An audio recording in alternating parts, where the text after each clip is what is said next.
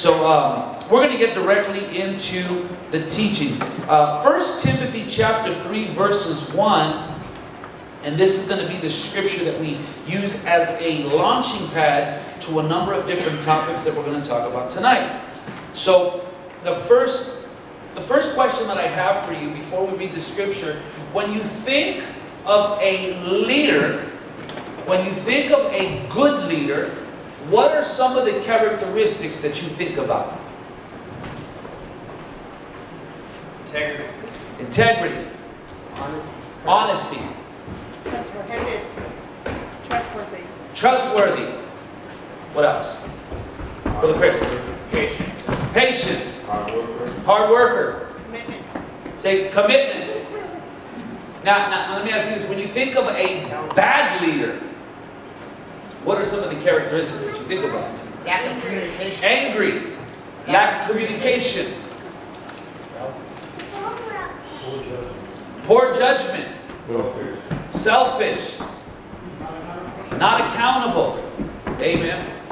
What I want to attempt to do tonight as we speak about leadership, I want to be able to define the difference between a secular or a general leader versus a godly leader because there is a difference. Yeah. Amen. So by the time that you leave today, you will know the difference between a secular leader and a godly leader. Amen. 1 Timothy chapter 3 verse 1 says this, and you can follow along with me on your worksheet. It says, Here is a trustworthy saying, whoever aspires to be an overseer, someone say overseer, Overseer. desires a noble task. In the message translation, it reads like this If anyone wants to provide leadership, someone say leadership. If anyone wants to provide leadership in the church, good. You know, when we look at this opening scripture, one of the things that we have to understand is that the Bible tells us to aspire to be an overseer or to be a leader is an honorable ambition. It's not bad to want to do something great for God. How many want to do something great for God? Are you hearing me? Now, one of the things that I want to point out and show you in Scripture is that there has always been a need and a search for leaders. All throughout the Bible, we see God in search of leaders. And some of the scriptures within your handout are there says this 1 Samuel 13, verse 14. But now your kingdom shall not continue. The Lord has sought for himself a man after his own heart, and the Lord has commanded him to be the commander, some translation says leader, over his people. So when we look at this scripture, we see that God is rebuking a bad leader for not doing what he asked, and then he goes on and searches for a man that has his heart and puts him in place so that he can continue with what he wants to do. Ezekiel chapter 22, verse 30, NIV translation says, So I sought for a man among them who would make a wall and stand in the gap before me on behalf of the land. Jeremiah 5:1 says this, Go up and down the streets of Jerusalem, look around and consider, search through her squares, if you can find but one person who deals honestly and seeks the truth, I will forgive this sin. Now, when we read those scriptures, what are some of the common themes that you find within those verses? Sister Honest. Honest. What else? What are some of the things that you see a common theme or a thread within those scriptures? God is always searching for someone, Looking for somebody, right? We see that God has always searched for leaders to do His will. A says the Bible shows us that when God finds a person who is ready to lead, to commit to full discipleship, and take responsibility for others, that person is used to the limit. Such leaders still have flaws, but despite those limitations, they serve God as a spiritual leader. Such were men like Moses, Gideon, David, Samson, and Jephthah. People that we read about in Hebrews chapter 11, right? So I say all that to say this. If you belong to this church, one of the things that I want you to understand is that our church places a huge value and emphasis on leadership. We believe that God can use anybody. I believe that with all my heart. I believe that God can use anybody who is committed and aspires to use their giftings for His honor and God's glory.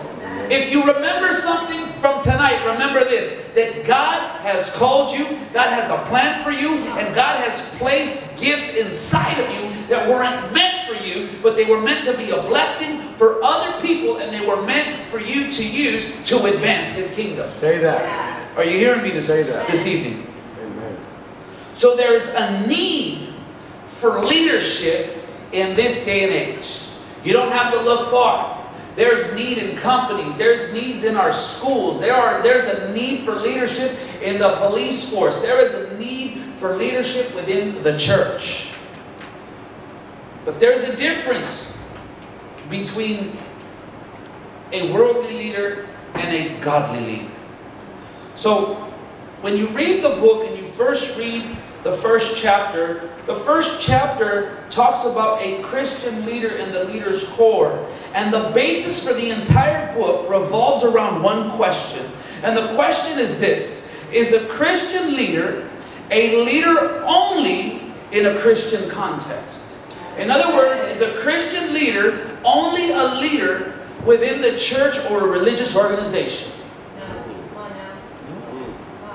No, right?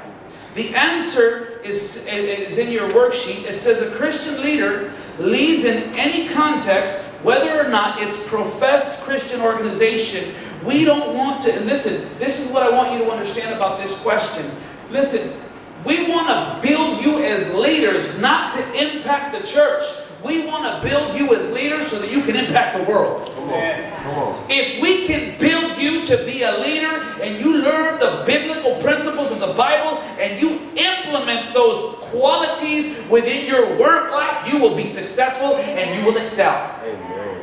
I promise you that if, if you dedicate yourself for the next two months, you put into practice what we're going to teach, and you learn to live biblical, and you learn to implement biblical leadership philosophies, you will not only be promoted, but you will bring glory to God at your workplace. Come on, somebody. Come on. Are you hearing me? Now, I'm a testimony of this. Some of you know and some of you don't know. But part of my testimony, when I came to the Lord, I wasn't educated. I got kicked out of school. I graduated from a continuation school and I could barely read. But when I got into church, there was classes like this that my church provided and I attended them. And I began to learn about leadership. And I began to trust the pastors and my leaders and I implemented these qualities. And I'll never forget, one day I was asking and praying, God, could you get me a job? I didn't have any experience. And I'll never forget, one of the ladies in the church said, Are you still looking for a job? And I was like, I didn't tell anybody I was looking for a job, And I said, Yeah, I want a job. Well, good. I told my boss about you, and they want to meet you. I said, Okay, well, what do you do? I work at a bank. Well, first problem was I was a thief before I came to the Lord. I remember going into that interview, and I remember all the questions they were asking me had to do with leadership, and I remember answering the questions and feeling comfortable. So, to make the long story short, I eventually got hired, and, and, and I don't say this to boast, but I kept getting promoted. I kept getting promoted. And I remember I learned something. By studying the life of Joseph, I realized that if I work at my job as if I was working for the Lord, not only would I bring Him glory, but the people that I work for notice that I was dedicated. See, what I'm trying to tell you is this if you're not happy with your job, don't say anything to me if I ask you what time you show up and you tell me you're always late. Hmm. We as believers should be the ones to show up first and the last ones to leave. Come on, somebody. We should be the one to go the extra mile and not try to take shortcuts. Are you hearing me? Amen. So, what am I trying to tell you? If you implement the principles of the Bible at your workplace, I promise you, you will succeed. Because a Christian leader is not just a leader within the church, he is a leader everywhere he or she goes. That. Our mandate, our mandate, B says, is to lead in a Christ like manner regardless of the context. In other words, if it's in the church, we want to lead like Jesus. If it's at the workplace, we want to lead like Jesus. If it's at the construction site, we want to lead like Jesus. If it's at the bank, we want to lead like Jesus. If we're in sales, we don't want to compromise our integrity for a sale because we're going to get more on our check. We want to be integral and we want to lead like Jesus. Amen. Are you hearing me? Our mandate is to lead like Christ. So three says the distinctives of Christian leadership. So what is distinctive about a Christian leader? What is the difference between leaders in general and Christian leaders? Well, the answer is a Christian leader is a Christian from the inside out. Are you hearing me? Not from the outside in. What do I mean by that? A Christian leader is a Christian from the inside out, not the outside in. Yes. Um, we, we're leaders because within our hearts, there's a, uh, comes from the, the heart. And we have, you know, we're not just learning how to look the part, but how to truly be the part. Not just learning how to serve, but truly learning how to love people. Yes. And it's coming from the inside. And then eventually, what's happening on the inside is transformed to the outside. And there's no inner struggle. Yep. It's peaceful. Versus when you do it from the outside in, when you look the part, but you don't feel the part, you don't like people, you get frustrated, you, you, Very true. you let, you know, you, yeah. So the difference and one of the things that makes us different is the that lead, a Christian leader is a Christian from the inside out, and we'll explain more about that as I want to give you seven distinctives of a Christian leader. Are you are you with me? Are you getting something? Amen. So number one, the first distinctive of a Christian leader in your worksheet it says a Christian leader is a Christian. Someone say Christian. Christian. They're not a flesh monster. What do we mean by that? Flesh monster. Right? They're not somebody that's all carnal. Right? They're not someone that makes decisions based off their feelings and their emotions. And listen, I want to challenge you to really pay attention. Really, really grasp this. Really stay focused. Don't let other things take your attention. So a Christian leader is a Christian. This is the very core of the Christian leader is his or her personal conversion and understanding of who God is. In other words, there was a time within your life that you've experienced who God was and you accepted Him within your heart. Who can remember when they first came to an understanding of who God was and you asked Him to be Lord in your life? Amen. Right? So, so from the core, when I say from the inside out, a Christian leader leads from an understanding of who God is. According to Scripture, Christians are those who have accepted Christ as their personal Savior and they have recognized that they're sinners in need of a Savior. Are you hearing me? And you can do more of your study there. We provided some scriptures, Romans chapter 3, verse 23. So the first one is a Christian leader is a Christian. Number two, a Christian leader is a committed follower. Someone say commitment. Commitment. When someone's committed, what are characteristics of a committed person? Consistency. Consistency, Discipline. discipline. What else? When you think of somebody that's committed, Faithful. faithful, good stuff. Huh? Rain or shine, right? A Christian leader is a committed follower. Now it says there in your worksheet, since not all Christians are leaders, Christian leaders must take another step. After they come to faith in Christ, they must put themselves under the lordship of Christ because being a Christian is not enough.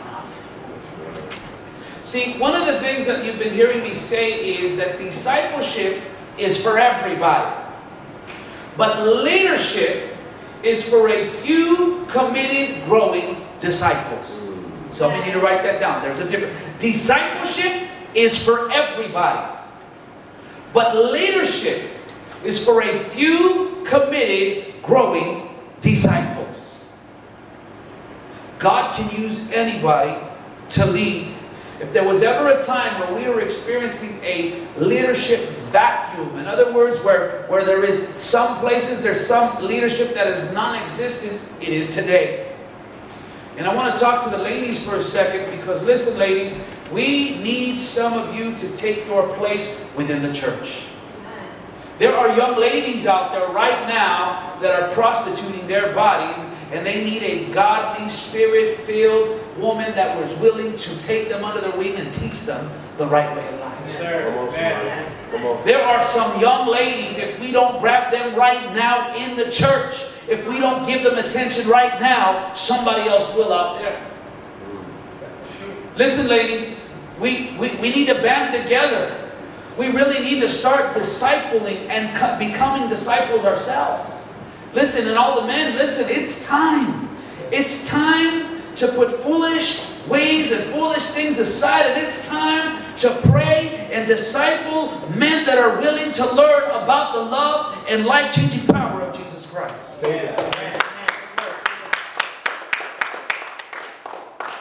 I say that with that much passion because a Christian leader is a committed follower, and what this consists of, of them taking another step and coming under the lordship of Jesus Christ. See, I'm talking about surrendered life unto the Lord.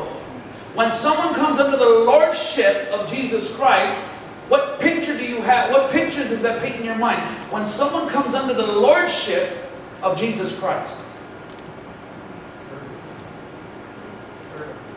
Servant, Somebody that works on hundred percent and not just seventy percent. someone that works on 100%, not just 70%. Someone that obeys. Someone that obeys. Right? Yeah. When we talk about lordship, in other words, there's an understanding that my life is not my own. To you, I, it's, it's those words that we sing, right? My life is not my own, right? To you I belong, I give myself. See, we sing songs like that, but we're not really living under the lordship of Jesus Christ when we go home. Amen. Are you hearing me? God says, I want you to show up early. I want you to take over this ministry. I want you to pick up the phone and counsel this person that really gets on your nerves. Come on, somebody.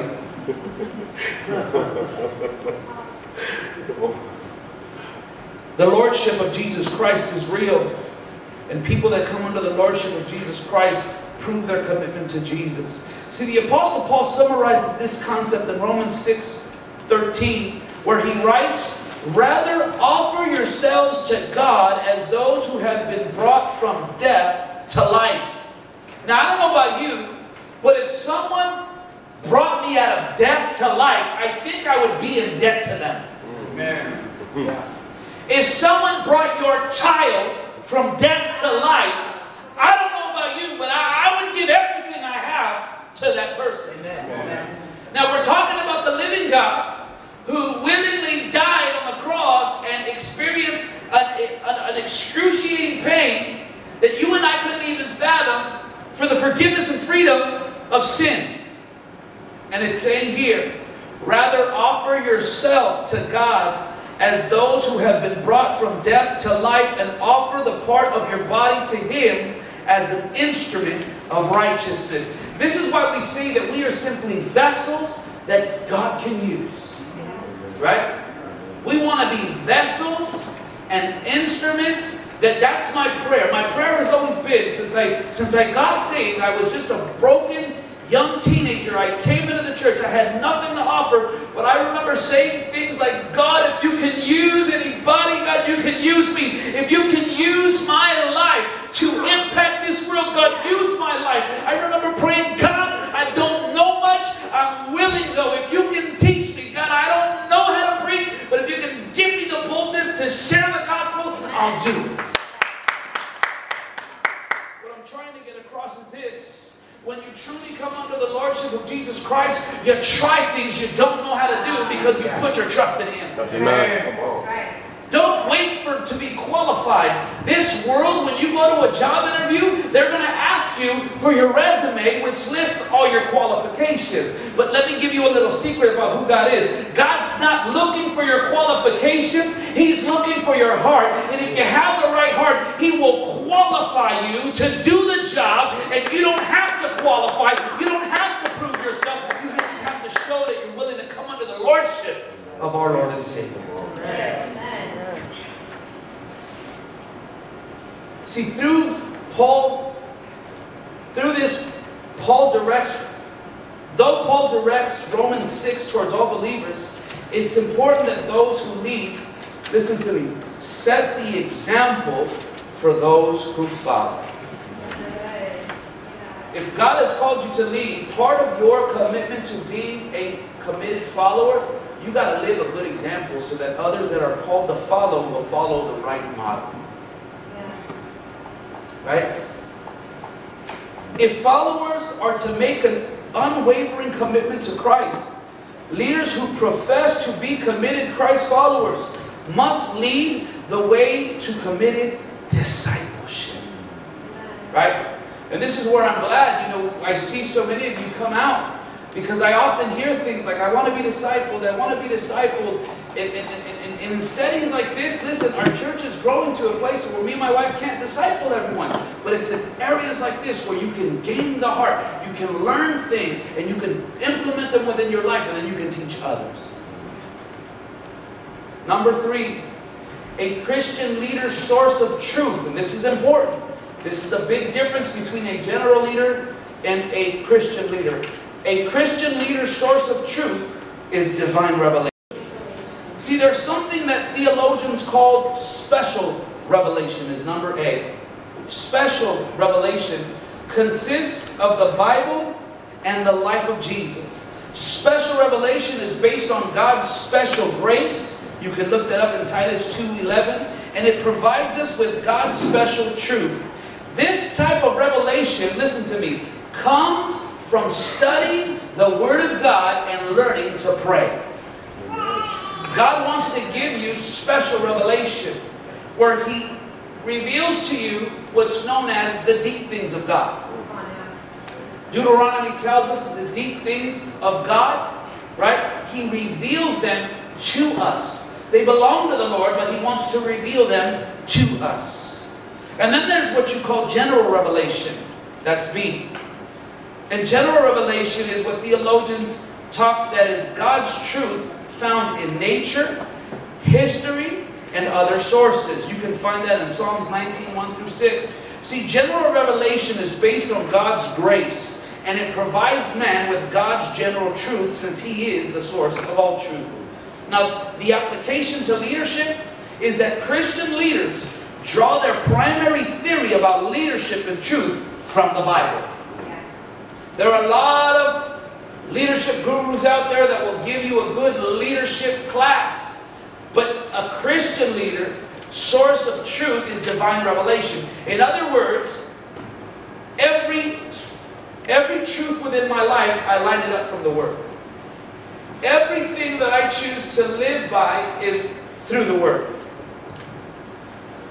Number four, are you getting something? Amen. A Christian leader emphasizes godly leadership. And this is a huge one. When we talk about the difference between a general leader and a Christian leader, a Christian leader emphasizes godly character. The greatest crisis in the world today is leadership. And the greatest crisis of leadership is a crisis of character. You hearing me? The greatest crisis in the world today is leadership. And the greatest crisis in leadership is character. Now, what is character? Character is the sum total of a person's qualities, both good and bad, that reflect who he or she is. Your character is who you are when nobody is watching. Your character is what you really say within your mind and not what you did. Right? How many hold your tongue and like inside you say, all right, but inside you're like cussing. Come on, it like that. Sometimes on the outside we put on a good show, but on the inside, right, we're violent in our minds. Right? Right? Some of you are impatient when it comes to your waiter. Your waiter doesn't bring your food. You can see yourself bashing their face in with your plate. huh? You call that, it's true. Uh, Wave at me, isn't it true?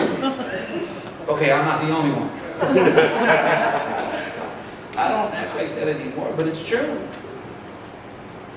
Character is who you are when nobody is watching. B says this godly character emphasizes the qualities that the Bible prescribes. Godly character is the single ingredient that qualifies a Christian to lead other people. So when we talk about the difference between a secular leader and a godly leader, a godly leader always understands that his character is the one thing he needs to guard.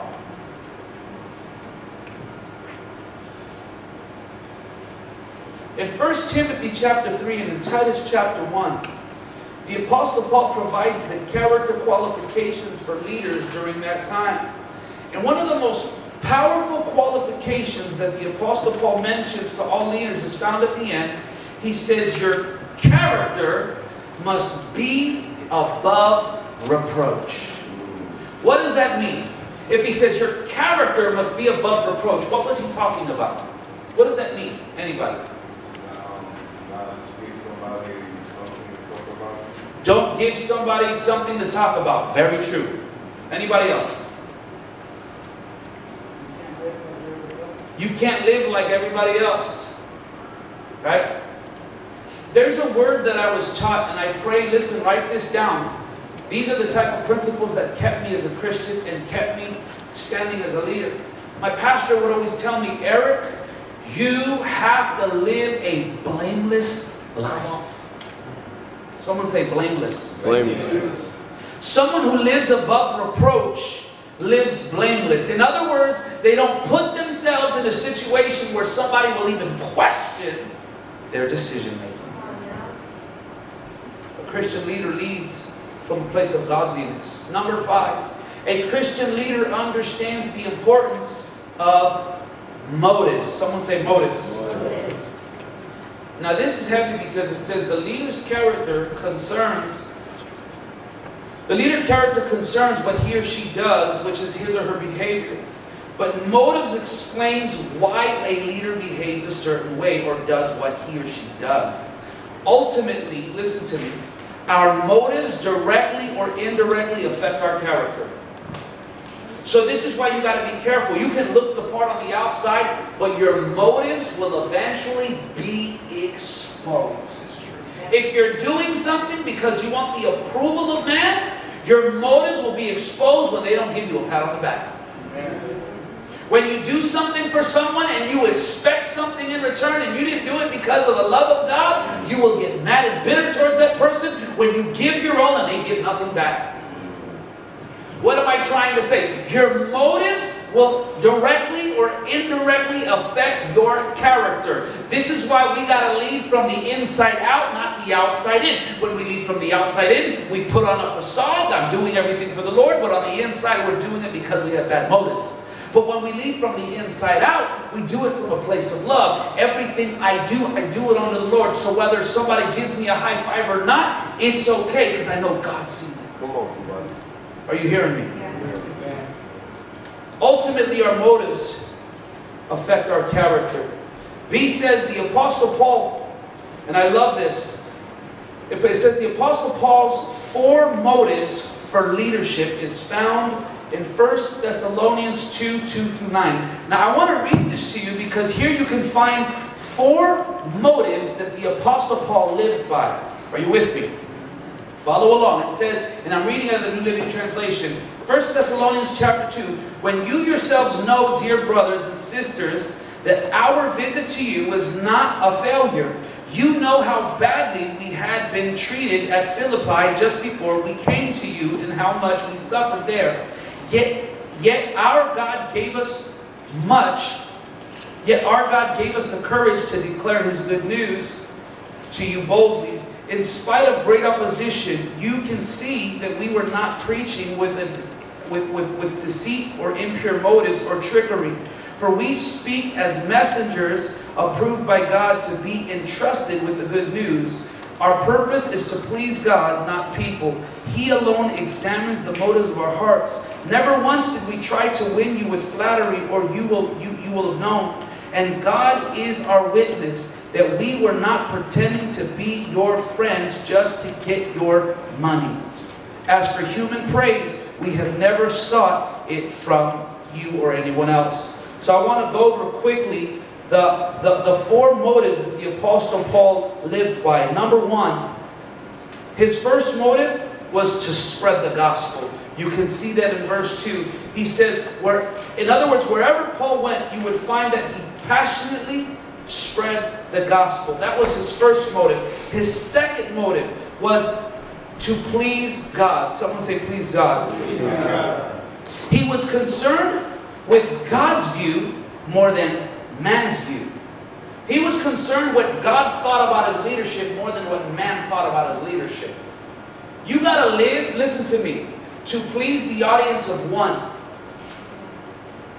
You gotta, you gotta catch that. You got to live for the audience of one. Brother Eric, Brother Everett, when you guys are up here praying, you're not playing for us. You're playing for the audience of one. When you sing a song, you're not singing for people to hear. You're singing for the audience of one. I am far more concerned about what God thinks about my leadership more than I'm concerned than what people think about my leadership.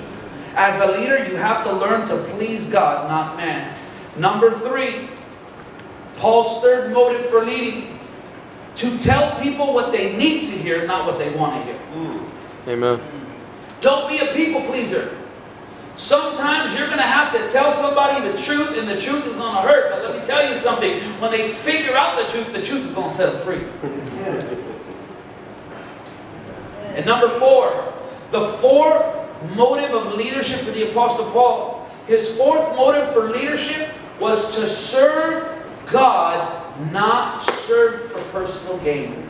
You cannot do this to help, or you cannot want to help somebody to get something. That's not why we're in this. Listen, the repayment for leadership, for godly leadership, this is going to be your payment. Saved souls. Man, come on. Saved souls. Say that. Amen. When I took this role of a pastor, I didn't take it for money. I didn't take it for praise. I didn't take it because I wanted people to think I was cool. I did it because I truly wanted to see lives saved. Say that. When we, were, when we didn't have that many people and, and, and, and we, we would show up and there was only a few, we stuck to it. We stuck to it. Why? Because we knew there were souls waiting. Some of you got to learn to stick to it because souls are depending on you. Yes, your life might not be all in shape right now. Don't focus on that. Stick to it because God is faithful. God can break chains. God can set you free. God can use your life and use your story to bring Him glory. If I would have given up every time I blew it, my God.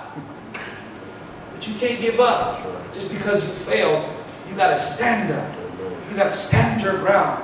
And remember that the enemy doesn't like you. Number six. Now I'll be closing. A Christian leader serves through the power of the Holy Spirit. See, unbelievers and unbelieving leaders do not have the Holy Spirit resident in their lives and have no option but to lead by their own human power. However, when a Christian accepts Christ as Savior, the Holy Spirit resides within him and they have the Spirit's power to lead lives that serve and glorify God.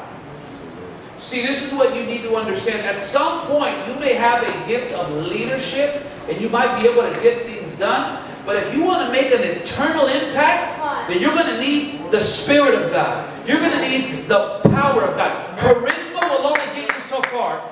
Gifting will only get you so far. You might be good with electronics. You might have a good voice. You might know how to manage. But at some point, you're going to need to learn to lead in the power of the Holy Spirit. Are you hearing me? We put our trust in the Lord. Now, how, how, how do you walk in the Spirit's power? You got to read your Bible and you got to learn to pray. The anointing and the Spirit of God will come upon your life as you seek the Lord. The more you spend time with God, listen, the more you realize how wicked your heart really is. Come on now. The more that you pray the prayer, like listen, I'm afraid to pray these prayers, but I do them anyways. God, can you show me anything within my heart that's not right? right? I say it all holy too, like, God, is there anything within my heart that's not of you? And I'm in prayer, and then He begins to show me. You still got pride, boy. yeah. Come on now. If you don't stop, this whole thing will collapse. You hear me? You need to love your wife. You need to sacrifice for your children. Amen. You don't have the right to choose who you want to lead and who you don't want to lead. I brought them into your fold. Amen. Some of you that want leadership, listen, don't look for the one that looks good. Look for the one that may not make it. And dedicate your life to believing in them. Are you hearing me? Amen. I don't know what it is. I don't know what it is. Not, not, not you in this room. Me and my wife we've always attracted knuckleheads. I think because I was a knucklehead. She was a knucklehead. But because of where you come from, listen, God is going to use you to truly, truly break bondages of the people's hands. And you're going to need the power of God. Because words ain't going to do it. Listen to me. A good sermon is not going to do it. It's the power and the anointing behind the sermon that's going to break the yoke.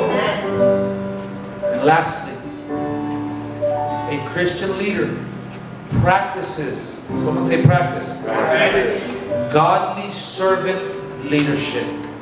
In Matthew chapter 20, verse 26 and 28, Jesus defines servant leaders as those who humbly serve others because they love them. We got to serve people because we love them, not because we have to or we feel guilty. Humility describes our manner of leadership or how we lead. Service is the essence of our leadership from which other people benefit. As Christians, we are not here to serve ourselves but others, and love is the motive for our leadership. That is the big difference between godly leadership and worldly leadership. Godly leadership serves from a place of love that is committed, a love that is defined by God's example. Greater love hath no man than this, than he that lay his life down for his friend. Listen, some of you gotta start laying your life down for you know what it means to physically lay your life down in this context, that means yes, we might have to do extra work. We might have to show up early. We might have to do five jobs. We might have to serve in the children's ministry, usher. We might have to also be on the worship team. We might have to learn to do all these different things and in hope that if we continue doing them, somebody will come in and help. That's why we started the church. That's why we continued with the church. We maintained and kept because of the love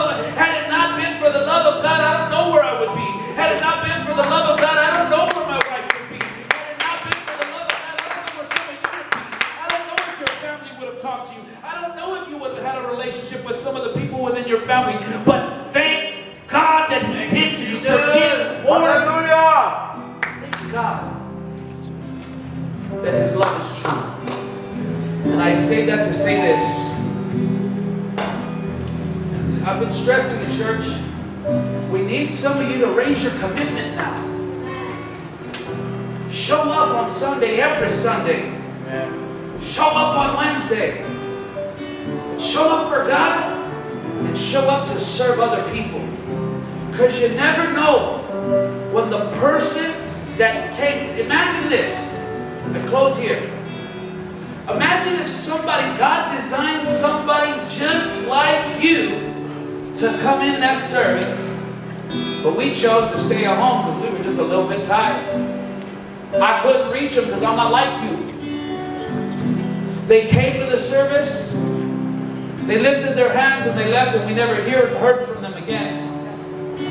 But it was your responsibility to reach them. This is why you got to show up. I, I always taught that.